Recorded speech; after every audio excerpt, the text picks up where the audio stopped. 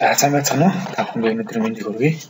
За өнөөдрийнхөө хичээлээр би юуг тайлбарлахыг хүсвэл гэхээр 78 гэдэг тоо. За 78% гэдэг энэ хоёрын ялгааг тайлбарлахыг хүслээ. За 78 гэдэг нь бол яг та бүхний одоо бид бүгдийн мэддгээр шууд 78 гэсэн тоо юм байна. За өөрөөр хэлбэл 78-ны үеийн тэнцвэрлэлээр 78 гэдэг тоотоо шууд тэнцвэг болоод 78% гэдэг нь бол бидний амьдралд хэрэглэгддэг 0.78 гэдэг тоотой бол яг тэнцнэ гэсэн үг юм байна. За өнгөрсөн хичээлдэр бид үнэлгээг хэрхэн яаж бичих тухай тайлбарласан байгаа. За тэгээд түрүү номынхоо энд дахиад тайлбарлаад бичих юм хэрвээ if гэдэг шалгаа юм гэсэн үг. За if гэдэг түүний дараа logical test орж ирнэ. За logical test нь энэ хүн нүдийг их буюу тэнцүү 90-с их байна уу гэж шалгаад хэрвээ энэ нөхцөл биелжүүл A гэдэг хүндэтгэх хэрэглээд биелэхгүй бол дахиад нөгөө нүдээ 80-аас их буюу их буюу хэцүү байна гэж шалгаад биелжүүл B гэдэг хүндэтгэх хэрэглээд эсрэг тохиолдолд F гээд дахиад нөгөө A дөрөв гэдэг нүдээ их буюу тэнцүү 70 хоног шалгаад нөхцөл биелжээвэл C гэж чигээр биелэхгүй бол дахиад нөгөө A дөрөв гэдэг нүдээ 60-аас их буюу тэнцүү байна уу гэж шалгаад Хэрвээ нөхцөл бэлтжүүлэлтий эсрэг тохиолдолд F гэдэг үнэлгээ тавиад хаалттай хаах юм байна.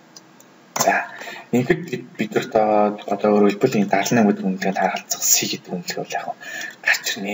Харин 78% гээд өгөгдсөн тохиолдолд бид нар дээрх томыг бичихтэй юуг анхаарах ёстой гэхээр тухайн өгөгдлөө их буюу тэнцүү 0.9 гэж шалгах юм ба. Өөрөөр хэлбэл 78 гэдэг 78% гэдэг тоо маань бидний амьдралд хэрэглэдэг 7.8 гэдэг тоо учраас.